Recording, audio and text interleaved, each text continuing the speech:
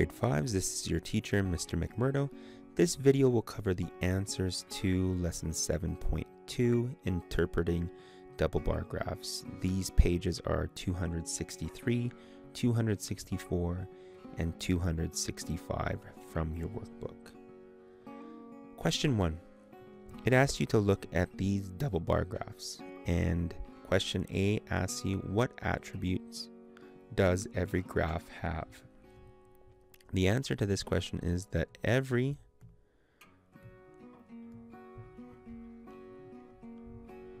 every graph has a title, a horizontal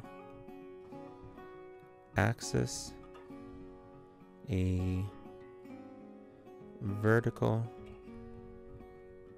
axis and a legend. Question B asks you, how are they different? So how are these two graphs different? So if we look at these two graphs, we can see that the scale of each is different. So as you can see, this graph, every line here goes up by 5. So the scale on this graph is 5. And if you look over here, the scale on this graph is equal to 0 0.5. Graphs Another uh, another difference between these graphs is that graphs A and D have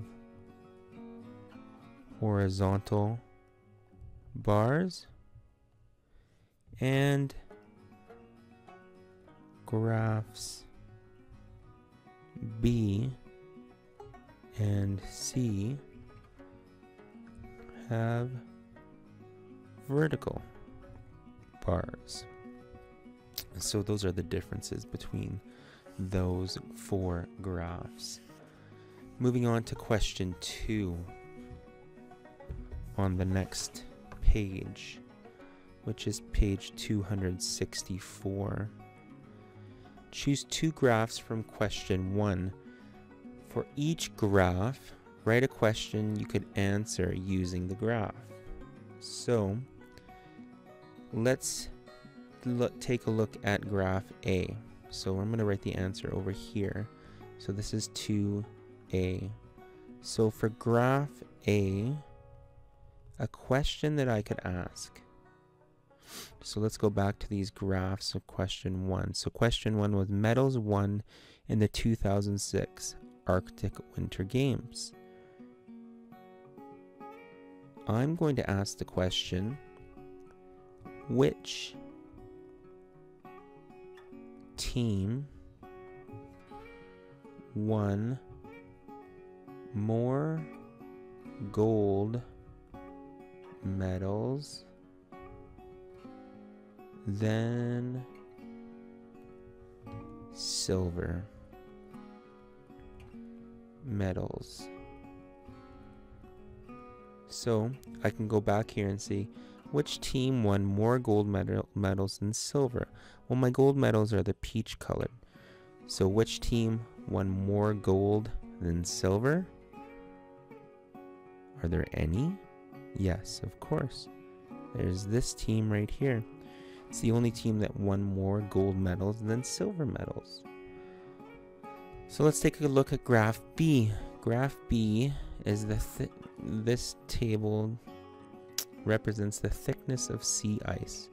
Now the thickness is in meters, and then it's looking at different regions. So, and different years. So we can see that the thickness of the sea ice has decreased in the most recent years. So it's decreasing over time in all of these regions. So my question that I could ask for graph B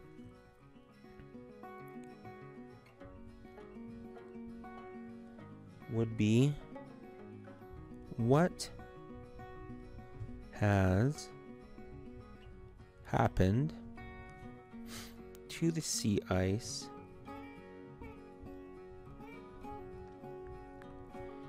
in all the regions shown? And the answer to that question is all the sea ice has decreased in thickness. Let's take a look at graph C. So graph C. Graph C category 4 and 5 hurricanes in 30 years. So the West Pacific in the past had about 80, 85, and then in the most recent 14 years, it's had over 115. Okay, so what could, what question could I ask? Well, well, let's see. So for graph C, I could ask what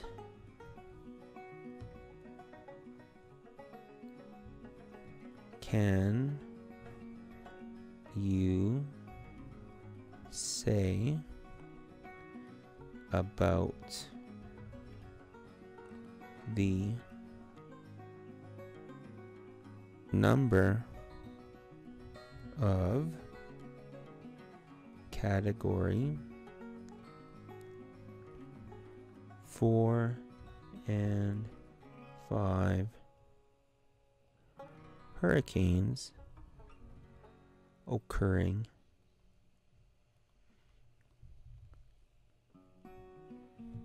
in the two 15 year periods. In the two 15 year periods. So have they increased? Have they decreased? So I can look at the graph and I can say, well, in the last 15 years, the second 15 year period, the number of category 4 and 5 hurricanes have increased in all regions.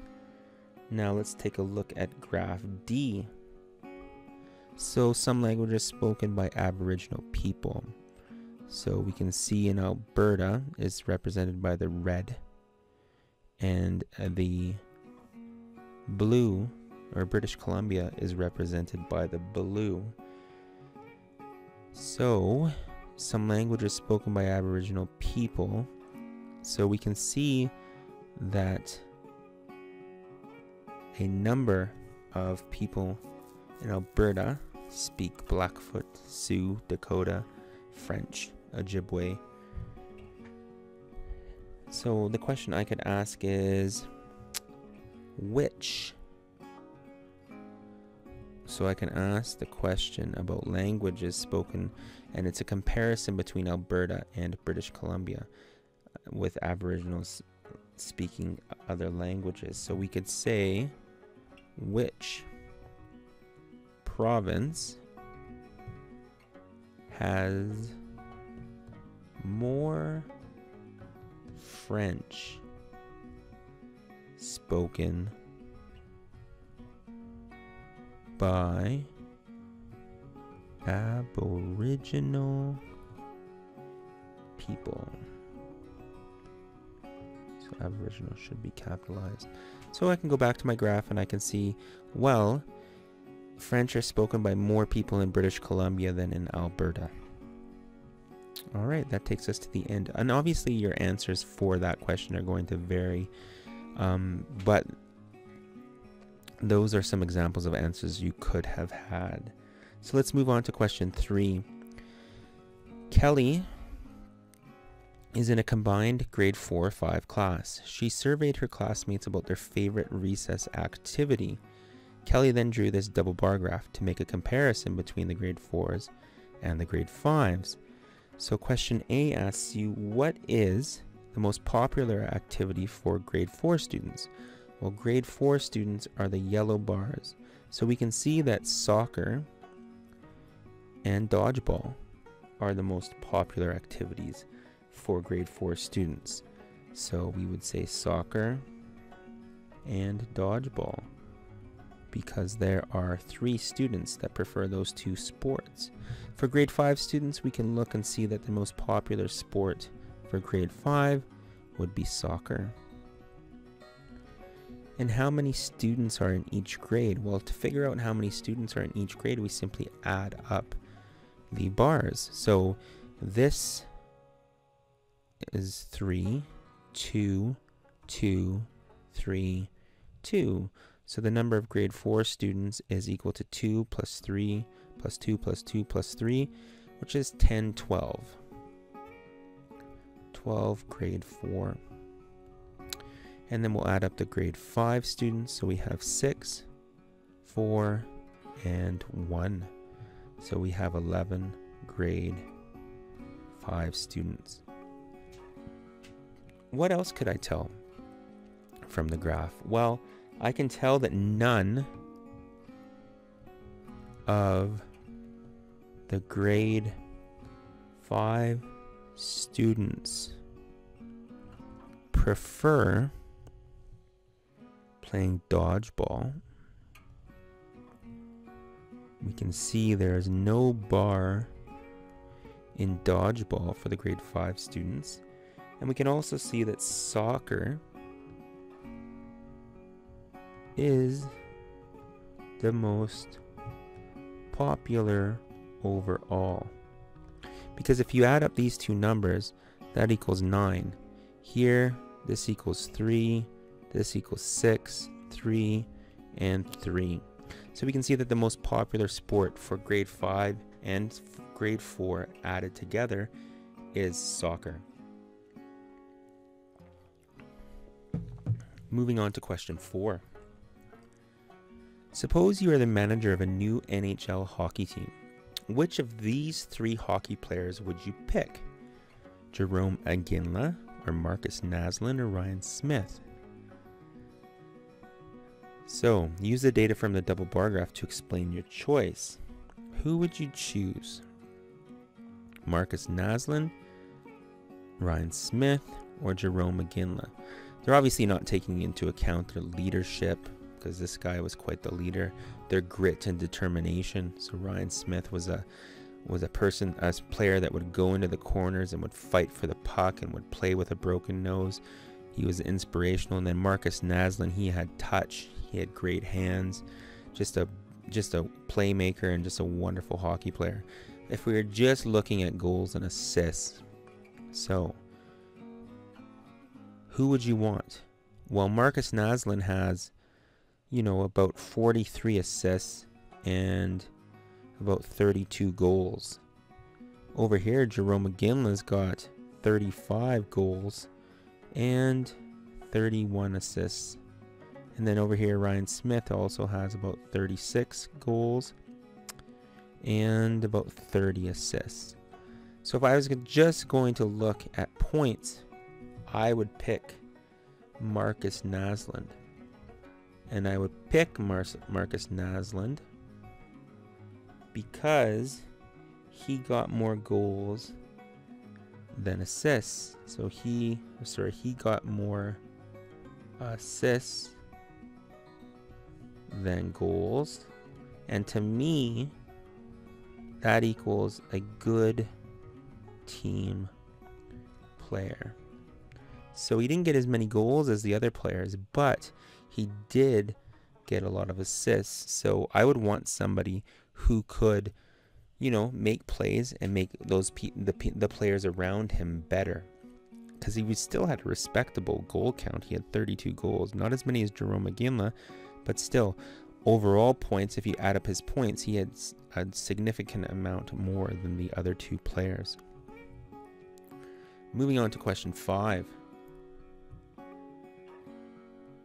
Where is question five? Question five is over here. What does this double bar graph show? So we can see by the title some nutrients in apples and bananas.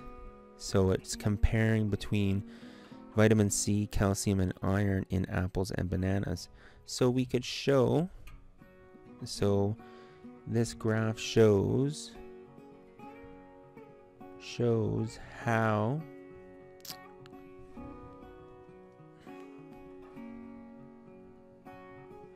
How apples and bananas. Apples and bananas. Compare. Whoops. That's not spelled correctly. Compare in vitamin C calcium and iron content Question B Which fruit provides more vitamin C? Well, we can see right here quickly. This is the great thing about double bar graphs is you can quickly make a comparison. Bananas. B A N A N A S have more vitamin C. Which fruit provides more calcium? Well, that would be apples. Now, D. An apple an, oh, sorry, an orange contains 70 milligrams of vitamin C. How do apples and bananas compare to oranges for vitamin C? So, we can see mass in milligrams and nutrients. So, we can say apples and bananas have much less vitamin C than oranges. So, we can say because there's only 8 for apples and 10 for bananas. So we would say apples and bananas have much less. How do apples and bananas compare to oranges for vitamin C? And question E. Write a question about this graph and then answer your question. So we can say, how, this is a very simple question. How about which fruit has more iron?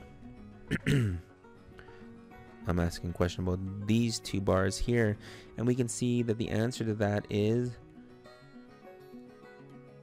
sorry, bananas. Bananas have more iron than apples. Question six. Look at this double bar graph. What could it represent? Use a copy of the graph, write a title and legend for the graph, and label each axis. What is the scale? Now, your answers are going to vary for this question, but they should be similar. Everybody should have the same answer for scale. Well, that's not true. You may may come up with a different scale, but um, here's my answer. How about the graph could represent the favorite pizza toppings of two grade 5 classes.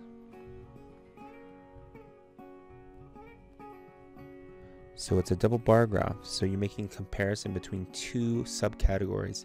And for this, it's two different grade 5 classes. A title could be, well, let's write the title Favorite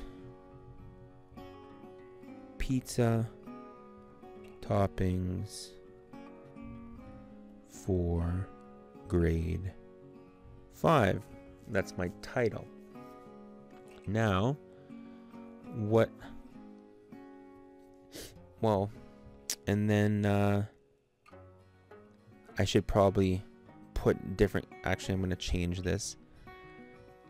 Favorite toppings of grade 5. And we'll go 5C and 5D because I'm comparing comparing between two classes in grade 5. Now the horizontal axis could be labeled toppings. And the vertical axis could be number of students. And then the scale could be one scale one one line or one square represents one student. So that would be 2, 4, 6, 8, 10, 12. No, I need to, I'm not going to be able to fit all of these in with my, so this would be 10 up here. So number of students is my vertical title and toppings is my horizontal title and then I need to write the toppings. So this could be pepperoni. This could be ham. This could be extra cheese. And this could be peppers.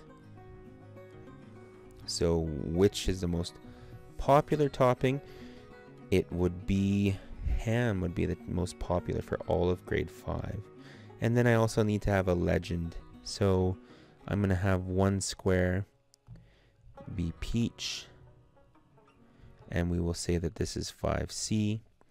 And then we need one square that will be green. So we'll have a green one and that will be 5D. Don't forget the legend, or your viewer or reader will not know which bar represents which category. Alright, moving on to the reflect question. How are a bar graph and double bar graph alike? Well, they both use bars to show data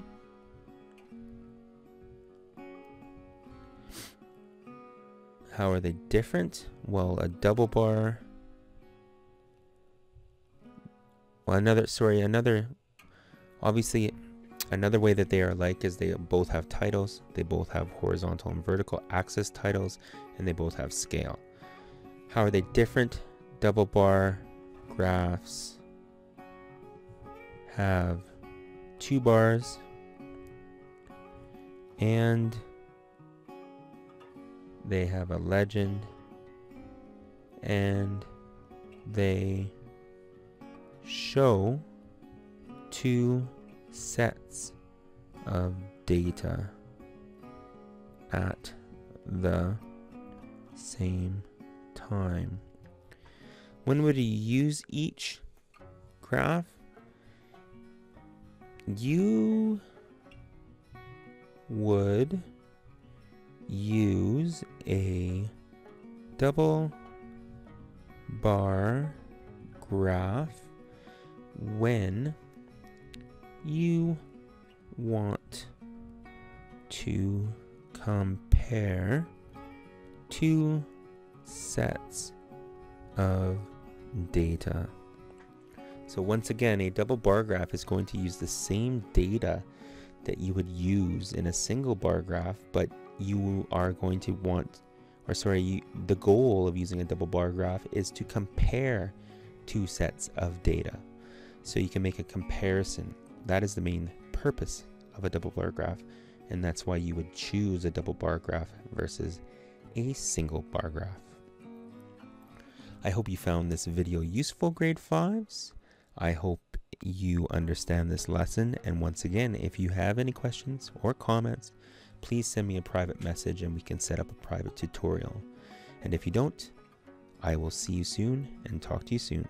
Till next time, grade 5.